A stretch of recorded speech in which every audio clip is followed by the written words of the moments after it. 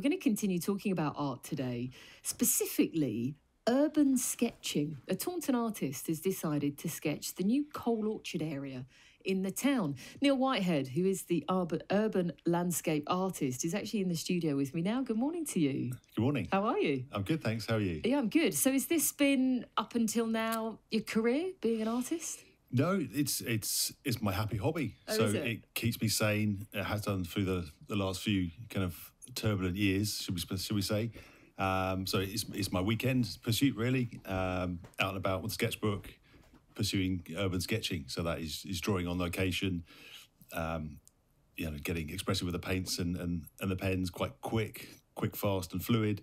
Uh, and it's great just to you know, document where you live. So I've you know I've, I've lived southeast uh, London based and now kind of southwest the last fifteen years. So um, yeah, something I really enjoy. It's a good passion and, and it helps the, the work life balance.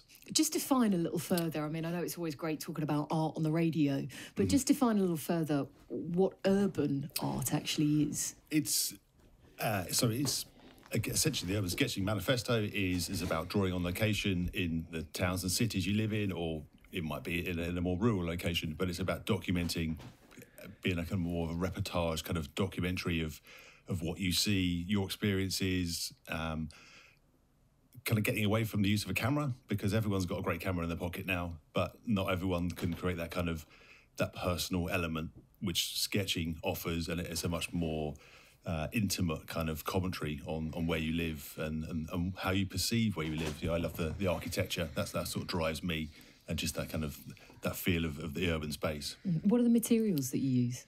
Very basic. I, I've got a, a small sketchbook I take out with me, um, a few fine liners, uh, and some watercolor paints. And that's it. Yeah, absolutely. So, how do you, as an artist, see Taunton when you do visit the town? You're, you're sitting there, you're watching the world go by. How do you perceive it?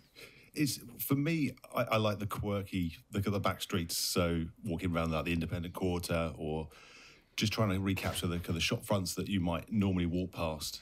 But actually, if you think actually that's been there for hundred years, possibly. So there's so much his, rich history.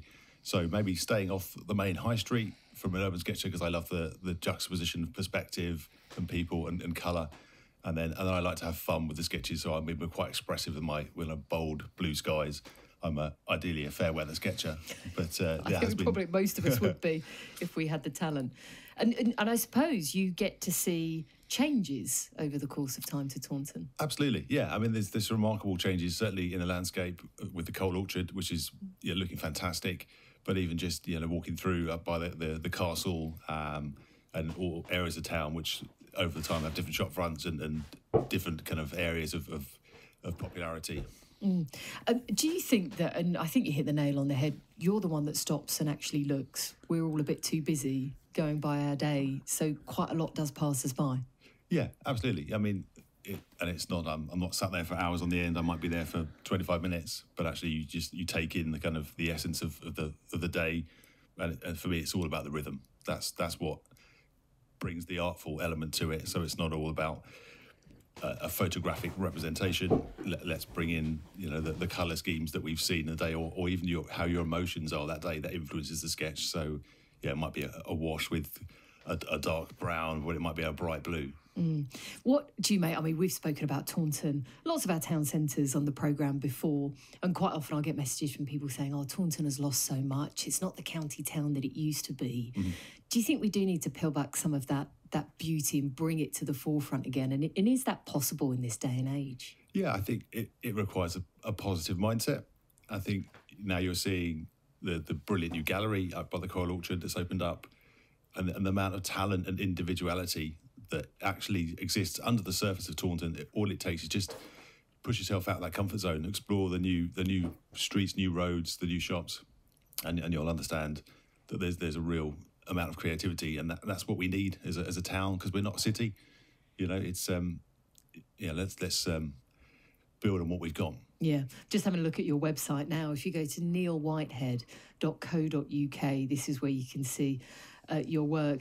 It's stunning. It's absolutely stunning, Thank you. and almost the the jagged lines that you have. So it's you know it's not straight, it's not perfect, No. but that's life, isn't it? Absolutely, yeah. Again, it's not a, a photographic representation. This is this is pure emotion. So uh, you know, there's there's good days and bad days. Yeah. You've got actually a video of you drawing in your sketchbook. Does this show a whole drawing from start to finish? predominantly it's it's there's a lot of sketches in there so I, I get a lot of challenges online so I, I exercise sometimes a continuous line drawing so the pen stays on the paper and that helps you draw fast means you're not stuck in town for, for an hour drawing it, it's a 10 minute sketch so you get you get the, the impression of the scene It's amazing. I'm, I'm literally just watching it now. Kelly, we may be late to the news. Um, but no, I'm watching it now. And actually, it's one of the things, if we look at the world of social media now, TikTok's massive for artists. Yeah. You know, I've sat and just watched people drawing for hours who I don't know, they're around the world. Do you Yeah. find actually interest in art? It, it's, I don't know, is it bigger than it ever has been?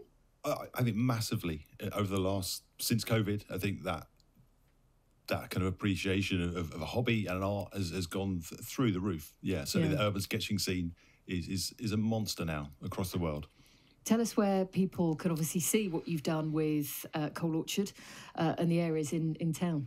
So predominantly, most of my work goes through Instagram. So um, my handle is, is NK Draw. So that's E double N K A Y Draw, which is a bit of a, a convoluted old name. But uh, so if you search Neil Whitehead Arts on Instagram, you'll, you'll also find me. It's stunning. It really is. What's next? What's next, really? So I've got I've got some work in a gallery. So I got approached uh, a couple of months ago by a gallery in Norfolk who love my kind of pieces. So I've worked up some of those into A3 kind of originals. So they're currently on show at the Holt Gallery in, in Norfolk. Amazing. Um, and then I've been invited to do various workshops in the southwest, and I'm also in talks to do a workshop in Switzerland. Oh my word! So yeah, that's gone. That's gone a bit, uh, a bit crazy. Yeah. So we'll see how that kind of pans out. But um, all all kind of things in the fire, and you know, again for me, it's, it's, it's that balance between the, the day job and, and the art, and that, Mm. that's where that's where I'm really happy. Well, it's lovely to meet you. Thank you so Pleasure. much. Do visit the website neilwhitehead.co.uk. Local artist uh, doing big things. So stay tuned. Nice to meet you. Thank you. Best of luck with everything. Uh, that's Neil there. Stay tuned